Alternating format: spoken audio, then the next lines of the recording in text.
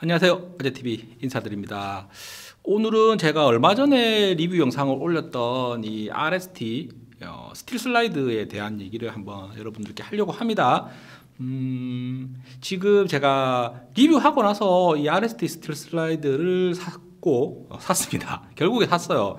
이게 역시 하, 이 슈팅 매치에 사용하기에는 일단 마루이 베이스만큼 좀 내구성이라든지 집탄성이라든지 신뢰성을 주는 총은 제가 개인적으로는 뭐 아직까지 VFC가 좀 부족하다라는 생각을 가지고 있고 어, 또 메탈 슬라이드 보통은 우리가 슈팅 매치에는 그냥 마루이 순정 쓰셔도 돼요. 왜냐하면 반동이 작기 때문에 그만큼 점수를 획득할 수 있는 어, 확률이 높아요. 한데 이 스틸을 올리게 되면은 문제가 이제 반동이 세지고 높은 가스를 쓰기 때문에 이 집탄이 내가 aim을 반동을 recoil management를 못하기 때문에 이제 성적이 안 나올 수 있습니다. 하지만 어, 또 좀 강한 반동 우리가 또 airsoft 유저들은 자꾸 자꾸 반동을 늘리려고 하고 실제 총을 가지고 매치를 하시는 분들은 반동을 줄이려고 하는 성향이 있죠.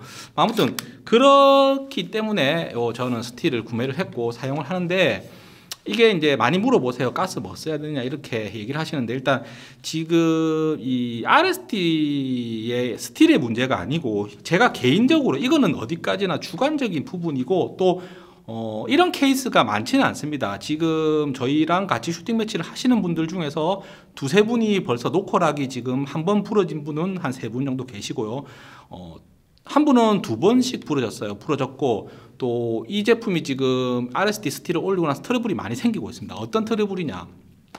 작동성 문제가 생기고 있어요. 근데 이게 지금 저 같은 경우는 전혀 그런 문제 없습니다. 없는데 어, 일단 이런 케이스는 드물기 때문에 제가 영상으로 한번 남겨두려고 합니다. 일단 제 주변에 슈팅 매치를 하시는 분들 같은 경우는 지금 이거 세팅하고 나서 벌써 비비탄을 뭐 세 봉지 네 봉지 이상 쓰는 그러니까 사용량이 많아요 지금 보통 제가 그분한테 얘기를 듣기로는 대략 한 2만 발에서 2만 발 이상을 사용했다라고 합니다. 그만큼 사용량이 많다 보니까 요 마루이 글록 17 젠5의 내구성이 대략적으로 만 오천 발에서 이만 발 사이 정도 되지 않을까라는 생각이에요. 한데 음 그런데 어 또그 조건이 있습니다. 이게 스틸이 올라가면서 이게 분명히 가스를 강한 걸 쓰세요. 그분들 14kg짜리 가스, 16kg짜리 가스 쓰시는 분들이에요. 보통 14kg 많이 쓰시고요. 저는 스틸을 올렸지만은 저는 아직까지 12kg짜리 가스로 작동성 문제 없이 잘 사용하고 있습니다. 그래서 높은 가스를 사용할 때에 이 하부 프레임 안에 있는 내부 부품들이 이제 슬슬 파손이 나기 시작합니다. 그 말인즉슨 어, 스틸을 올렸다라고 해가지고 무작정 높은 가스를 사용을 할때 생기는 문제점을 이 마루이 글록은 가지고 있다라는 거죠. 어, 요거를 해결하기 위해서는 이제 가더사에서 내부 스틸 부품들이 많이 나옵니다. 근데 이 마루이 글록 17 Gen5가 나온 지 얼마 되지 않았다 보니까 아직까지 이 강화 부품들이 안 나왔어요. 그래서 이 순정 상태로 사용하다가 파손되는 분들이 생길 수가 있습니다. 그래서 저는 개인적으로 어, 마루이 글록 17 Gen5를 구매하셨고 순정 상태로 사용하시는 분들은 굳이 12kg짜리 가스보다는 그냥 어 11kg짜리 Puff Dino 파워가스 재팬 버전 있어요. 통에 들었는데.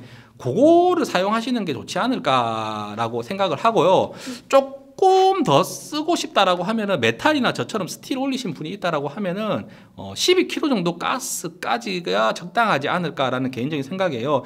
저도 지금 사용을 많이 하고는 있지만 조금 조심스러운 게 지금 가더사나 이 third party 회사에서 강화 부품이 나오기 전까지는 조금 센 가스를 좀 안 쓰려고 생각을 하고 있습니다. 그 점을 좀 참고를 하시고 어 이거를 RSD 스틸을 올려서 분들이 있다라고 하면은 감안하고 조금 막 16kg 레드가스 이런 거 쓰지 마시고 한 14kg짜리 12kg짜리 정도 쓰셔도 충분히 반동을 맛을 볼 수 있습니다. 그리고 또또 요거는 제가 앞서 말씀드렸다시피 사격량이 훨씬 많습니다. 보통 최소 만발 이상 쓰시는 분들이기 때문에 일반적으로 집에서 관상용으로 이렇게 쓰시면은 뭐 한 달에 천발 이천 발 쓰기도 정말 힘들죠. 천발 이천 발에서 몇백 발 정도밖에 못 쓰는데 어, 저희처럼 이렇게 사격장에 나와서 슈팅 매치를 한다라고 하면 한 번 연습 나오면 거의 보통 기본 한 2, 3천 발씩 쏘고 들어가거든요. 이렇게 연습할 때도 저 같은 경우는 그렇게 많이 쏘지는 않지만 그 지금 파손된 분들 보면은 오셔서 엄청나게 연습 많이 하세요. 이제 그런 분들이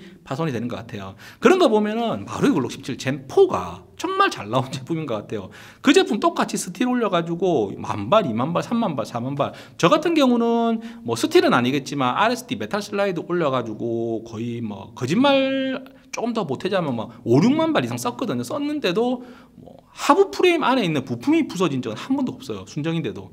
어, 그렇기 때문에 마루이 글록 17 젠4가 정말 어, 제대로 잘 나온 명기지 않을까라는 생각입니다.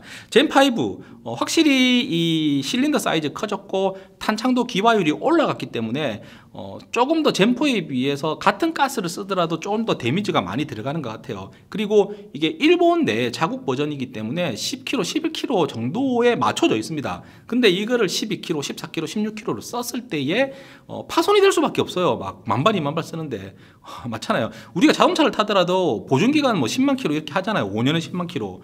어, 마찬가지로 얘도 보증 뭐 연한이 비비탄 팔 수가 있는 것 같아요. 그래서 제가 봤을 때는 한 15,000발 정도를 신나게 갈기다 보면은 슬슬 하부에 있는 knocker lock이라든지 해머 스프링이라든지 해머라든지 뭐 노즐 스프링이라든지 이런 게 어, 부서질 수 있지 않을까라는 생각에 영상을 한번 남겨봅니다. 그러면은 어, 파손 없이 어, 적당한 가스를 사용하기를 어, 권장을 드리면서 다음 시간에 또 뵙도록 하겠습니다. 그리고 가시기 전에 구독, 좋아요 좀 부탁드리고요. 구독 안 하고 보시는 분들의 비중이 훨씬 높습니다. 높은데 어, 영상을 재밌게 보셨다라고 하면은 뭐 구독은 돈 드는 거 아니잖아요.